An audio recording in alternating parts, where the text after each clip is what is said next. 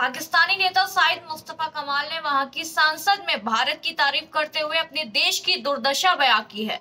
उन्होंने कहा है कि हालत ये है कि दुनिया चाँद पर चली गई और हमारे देश में खुले गटर में बच्चे गिरकर मर रहे हैं।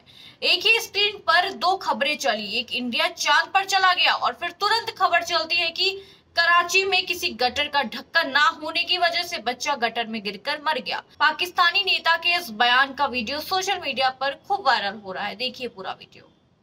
तो कराची के आज हालात ये हैं कि दुनिया चाँद पर जा रही है और हमारे यहाँ मासूम बच्चे खुले हुए गटर में गिरकर मर रहे हैं। एक ही स्क्रीन पर एक खबर है कि इंडिया चाँद पर चला गया और उसके दो सेकंड के बाद खबर है कि कराची में किसी गटर का ढक्कन ना होने की वजह से बच्चा गिर गया, मर गया। और ये हर तीसरे दिन की खबर है। पंद्रह सालों से, और ये मैं सर एतराज़ के तौर पर प्वाइंट स्कोरिंग के तौर पर नहीं कह रहा हूँ। ये मैं गुजारिशात कर रहा हूँ। ये मैं सदर पाकिस्तान से गुजारिश कर रहा हूँ। ये मैं पार्टी के चेयरमैन से गुजारिश कर रहा हूँ। चूँकि उन्होंने स्पीच की है, वो सुनते हैं, उनके गोश गुजार लाना चाहता हूँ। पंद्रह सालों से सर, कराची जैसे शहर को एक कतरा नया पानी नहीं दिया गया।